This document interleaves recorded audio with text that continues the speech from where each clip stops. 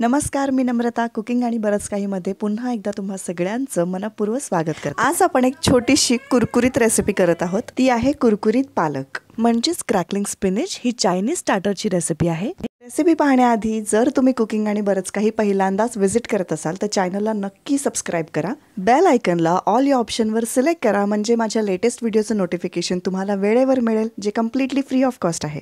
इथे मी एक गड्डी पालकला निवडून धुवून स्वच्छ पुसून घेतलेला आहे.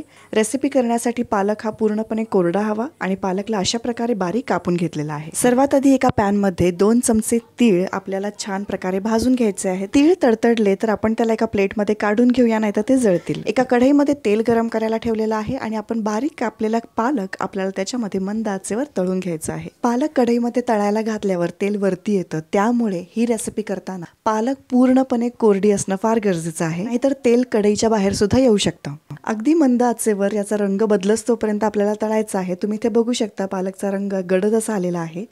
पण आणखी कुरकुरीत होसतोपर्यंत आणखी एक पाच मिनिट आपण त्याला मंद आचेवर तळून घेऊया. तर इथे आपले पालक तळून रेडी आहेत. कुरकुरीत असे मस्त ते झालेले आहेत त्याचा रंगसुद्धा हिरवा गडद असा आलेला आहे. आता आपण त्याला एका कोरड्या प्लेटमध्ये काढून घेऊया. पालक प्लेटमध्ये काढून घेतल्यावर सर्वात आधी आपण त्याच्यावर चवीनुसार मीठ घालणार आहोत. त्यानंतर आपण जे भाजून घेतलेले तीळ आहेत ते तीळ आपण चवीनुसार साखर आणि चिमूटभर तिखट असं मिश्रण करून याच्यावर घालणार आहोत. जर तुम्हाला तिखट घालायचं नसेल तर तुम्ही कोरडी लाल मिरची सुद्धा कापून याच्यामध्ये घालू शकता. हे मिश्रण घालून झाल्यावर आपण याला मिक्स करूया. तर इथे रेडी आहे आपला कुरकुरीत पालक म्हणजेच क्रॅकलिंग स्पिनेच. चायनीज स्टार्टअपची रेसिपी आता तुम्ही अशा पद्धतीने घरच्या घरी बनवू शकता. ही रेसिपी पौष्टिकसुद्धा आहे आणि टेस्टीसुद्धा आहे.